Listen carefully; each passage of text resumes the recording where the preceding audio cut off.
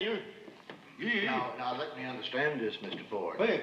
You wish to serve as your own counsel and call Mr. Lampson as a witness for the defense? I do, Your Honor. Well, I really don't know what to say. Well, how about, uh, he- this is most irregular, but he may take the stand. Oh, thank you. Uh, this is most irregular, but he may take the stand. Now, wait a minute, Stan. This is ridiculous. You don't even know how to conduct it. I could have got you off from 20 years to life, but this way you're going to wind up in the electric chair. Raise your right hand, please. You solemnly swear to tell the truth, the whole truth, and nothing but the truth, so help you God? I do. Be seated. State your full name, please. Harold Lampson. You married, Harold? You know damn well what I've been... Uh, yes, yes. How many years you been married? Well, let's see. Uh, Hal Jr. is 10. Uh, we were living on West 11th Street at the time, so that would make it, uh, uh, in the neighborhood of, uh... Eleven uh, years, you idiot. Uh, Eleven glorious, wonderful years. Yeah, that's right. 11 glorious, wonderful years. You're doing this all wrong. You have two lovely children. Yes. House in Scarsdale, a late model station wagon, a Great Dane, right? Yes, that's right. Therefore, Your Honor, I submit that the witness is eminently qualified. Now, Harold, I'm going to ask you a question. I want you to think it over very carefully and then answer me as honestly as you possibly can, okay? Well. Do you believe in marriage? What? Do you believe in marriage as an institution? Do you believe in it? Well, hell, yes, sure, of course I believe in it. I mean, what, what kind of a question is that anyway, Stan? From where I sit, Harold, which as you pointed out is quite likely to be an electric chair, is rather a central one, I'd say. However, let me put it to you a slightly different way. Let us assume for a moment that this dot I have just drawn is a button. A button. Mm-hmm. A button. All right, it's a button. Let's further assume that if you were to push that button, your wife Edna, to whom you have been married for 11 wonderful and glorious years, would suddenly and magically disappear. Disappear. Yeah, as in vanish. Not be here. No longer exist. I object. Overruled. That's right, overruled. And will you please shut up? This is beginning to get interesting. Oh, Thank you, Your Honor.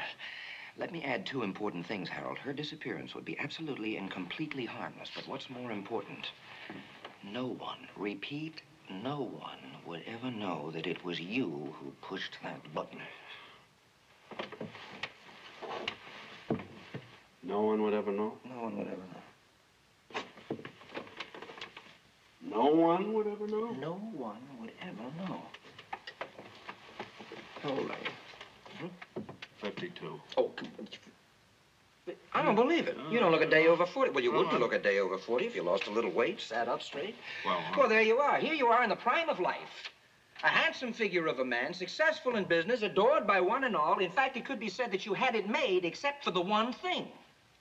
I'm a lousy lawyer, huh? no, you're married. Yeah, but being married is the normal way to live. Isn't it? Who says so? Isn't? Oh, Harold, I think you've been brainwashed. You're missing a very important point. Marriage is not a basic fact of nature, it's an invention. It's like the infield fly rule. It exists only because the women say so, and like idiots, we just go following right along. Uh, no, no, no. Uh, no, Stan, I... No, I don't know what I would do without Edna.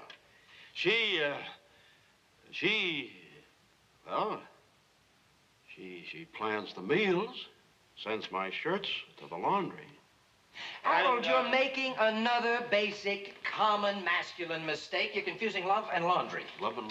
Let me tell you something. For years now, a very nice gentleman who operates, for reasons I shall never understand, under the name of Madame Renee, has been picking up my shirts every Monday and bringing them back beautifully done every Thursday. And not once, not once in all those years have I felt the slightest urge to marry him. Yeah, well, How much money do you make? Hmm? between 70 and 80,000 a year. How much of that 70 or 80,000 do you get to spend on yourself? Well, on hmm? that, you know, of course, with Edna and the kids and the payments on the house in Scarsdale. And then, of course, I do carry a lot of life insurance. Yeah, I understand. Now, Harold, stop for one moment and think what life could be like right now. Gentlemen of the jury, this concerns you too. Stop and think what your life could be like right now if you'd had the common sense not to marry Josephine or Hilda or Mary or Peggy or Rochelle. Edna? Edna. Just think what you could be doing with all that money right now. Yeah. Have a little Chris Craft, maybe? Get rid of that broken down money pit of a house in Scarsdale. It's all Oh, man. easy, Harold. All you got to do is poke the button. Could I grow a mustache? Of course. Put wax on the ends? Well, who could stop you? I used to wear one before I was married. I remember. You cut quite a dashing figure. you really think so, huh? So, push the button. Uh, well, that was always a little sparse on the left side Oh, there. a good barber could trim that so you'd never even notice it once you push the button. Uh, I never could afford a really good barber then. yeah, but you could would- now. Uh, yeah, oh, but I could now. When's yeah. the last yeah. time you started thinking about girls? The girls. Think of a whole world full of girls. Just think on that. A world pulsating with girls. Models, Mm-hmm. actresses, You know it.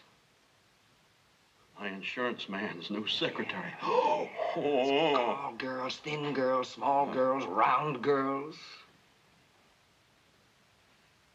Pin-up girls. Well, they don't pin up anymore. They just fold out, but you're getting the idea. And instead of that broken down money pit of a house in Scarsdale, you get a townhouse all for yourself. With a butler, Push the button. like Charles. Push the button. To have the martini glasses chilling when I come home. Huh? That's right, exactly. Just come with me. That's all you have to do is just push the button. One push, and she just disappears. Nobody will ever know. Helen. Just one little push, and she's gone. Just push the button. No one will ever know. Harold! If you think I've made your life a living hell in the past, you haven't even begun to learn the meaning of the word suffer. Shut up, you old bat! Besides, you won't feel a thing.